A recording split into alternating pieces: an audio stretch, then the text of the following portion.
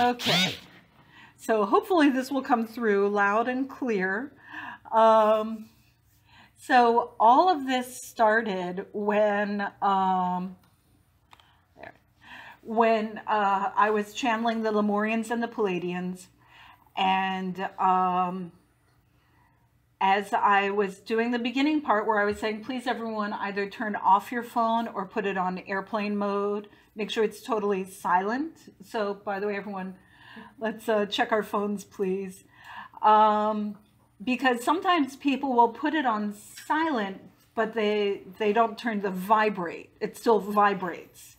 So either airplane mode or off because we don't want any ringing. Um, it's like, it's all about frequency. So I open up and this beautiful energy comes in and it's, everyone's getting connected energetically. And then in the middle of it, me, me. uh, when I channeled the uh, librarians, they they get distracted of the akashic records they get distracted and they're like ooh what's that? Let's go chasing after that. They, like when you throw a ball and a dog goes running after it in the middle of obedience class or something. Um, so as i was telling everyone to turn off their phones either airplane mode or off um, this anecdote came flowing through my mouth to everyone in the room of one time I was channeling Gaia, Mother Mary, and Mary Magdalene as a trio. And uh, as they were speaking in the middle of the session, someone's phone went off and it was a ringtone. It's all about the bass, about the bass, about the bass, no trouble. and this very embarrassed man like went diving into his pocket going, I thought I turned it off. I'm so sorry. And um, Mary and Mary were laughing and saying, it's true. It is all about the bass. You need a very strong root chakra to honor our divine mother. can let all the trouble stuff go for now. and they were joking, trouble is trouble, bass is divine. so, um, so they, they were like, you know, they thought it was hilarious. And then we went on with the messages they were giving. So I, I shared this anecdote with the group. And, you know, Gaia, Mary, and Mary were there. And I was like, the only problem is like, I'm a very honest person. I do not lie. Like, I cannot abide untruth. Like, anyone who's empathic, telepathic, like, you know, when someone lies, you're like, why? Why do you bother lying to me? you know, it's just like so unnecessary. and um, like, even if I tell someone something to someone, and then later I learn I had been wrong, I will call them and say, you know, three years ago when I said, and they're like, no. And I'll go, well, I remember and I was wrong. It should have been blank. And they're like, uh, uh, okay. I'm like, I just need to realign the truth. That's all.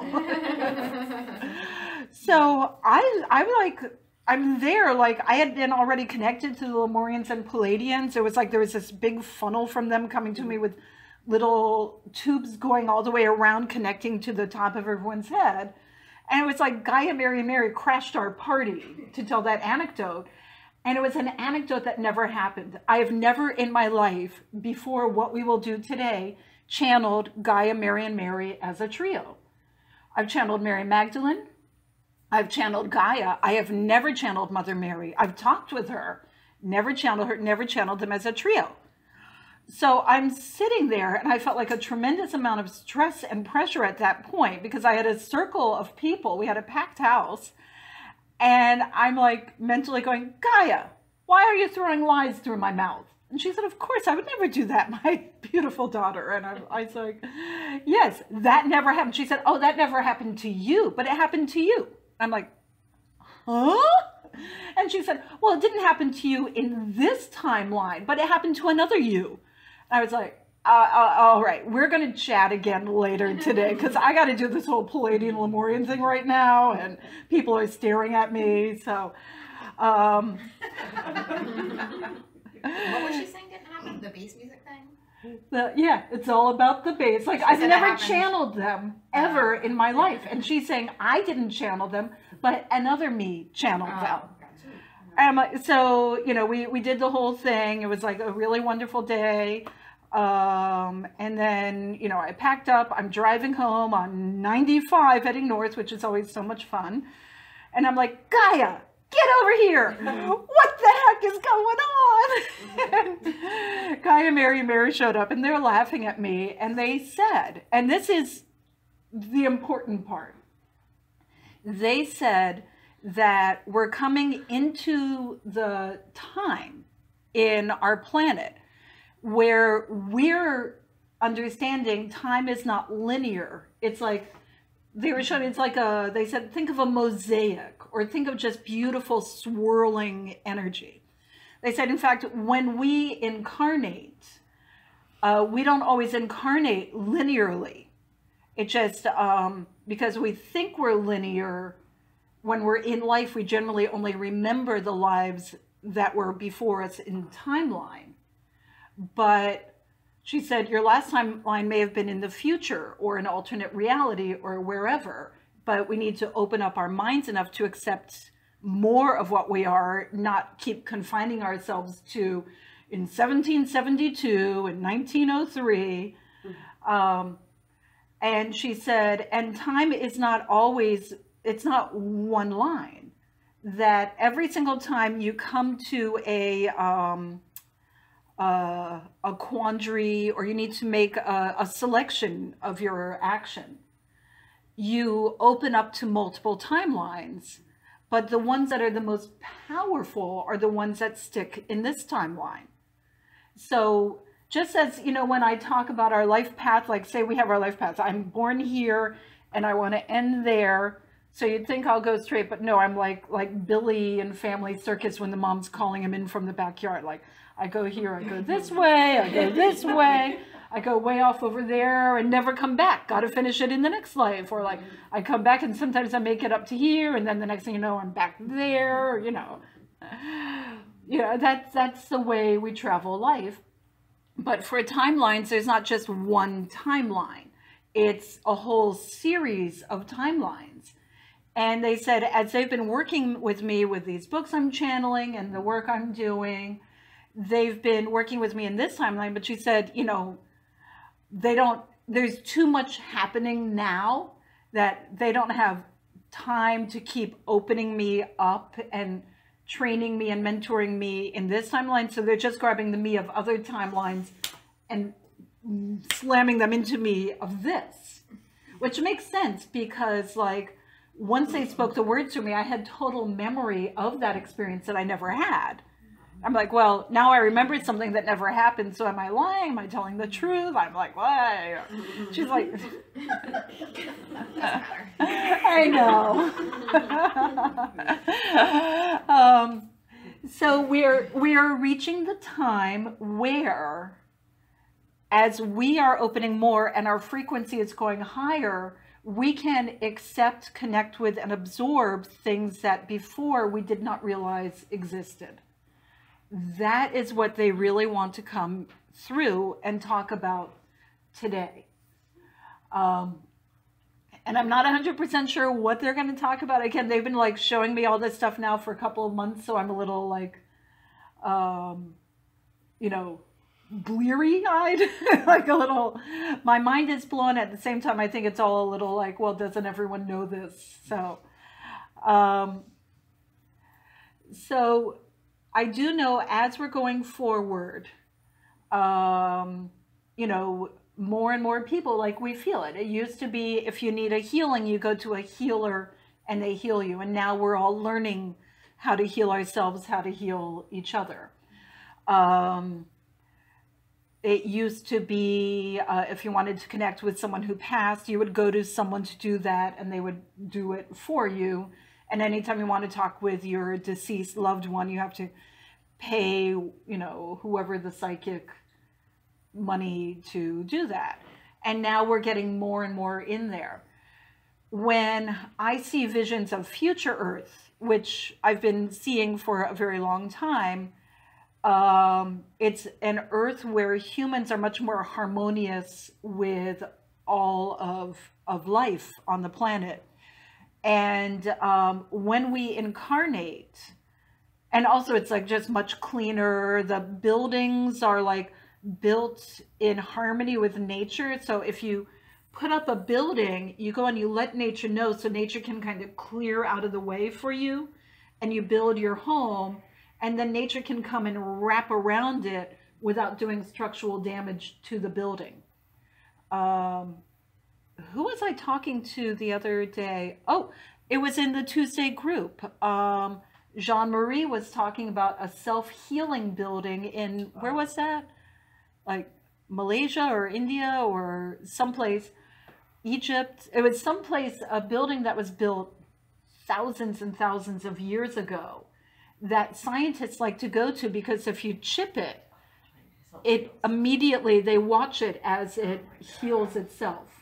It reconstructs. What's it made out of? I don't. I mean, I'm assuming stone because, but I I don't know. She you know I She was vague on. she was yeah. extremely vague, but she said the building was created with this energy in it, and no one now knows how. But when I look at a future Earth, this style of creation will return to us. Um, our work with energy will be so comfortable and compatible that we don't need to eat massive amounts of food to maintain energy. You know, like we, you know, you guys have heard me talk about uh, sects in India and the Himalayas where they can pick up a handful of dirt and turn it into whatever they want because they change the molecular structure. So if you're hung, if you're like, oh, you know what, I want a souffle, pick up a handful of dirt. It doesn't become dirt that looks and tastes like souffle. It becomes souffle because they change the molecular structure. Um, so we will be able to pick a leaf of spinach, infuse it with energy, which many of us do now. Before we eat, we do a little energy work on the food. Infuse it with energy, eat it, or just breathe and breathe in the energy. Exactly. Um, so that like so much in our functioning of life will go to a higher frequency.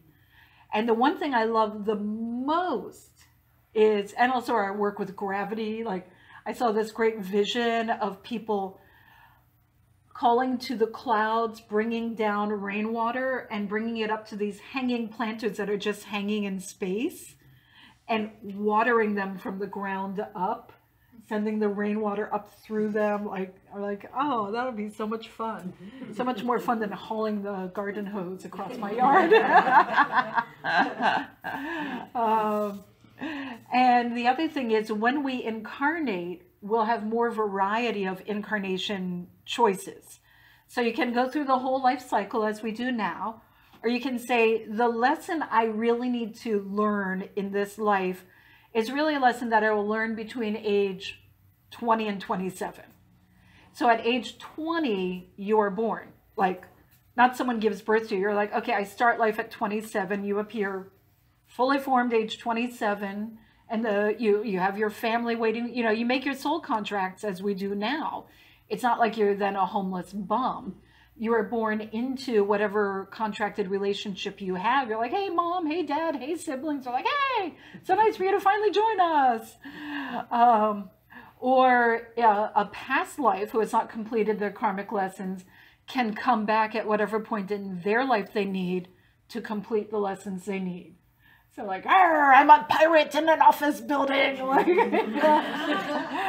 know, that'll be fun.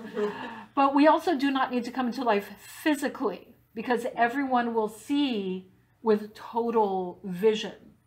So you can see into other dimensions and portals and the non-physical. So I might say, you know what? I want to come to life, but I don't even need to take full shape. I'm just going to be the essence of me in this way, shape, or form that I choose for this life for however long. And I'm going to tag along with my buddy, bless you. I'm going to tag along with my buddy and help them out with what they're doing, and I'll absorb what I need through that. You know, we can become our own guardian angels. or So there's just going to be a bigger spectrum in the future. So what uh, Gaia, Mary, and Mary want to talk about is how do we get from where we are now through what we're going to go through to where we're going to go and why is all of this happening? Yes. Okay.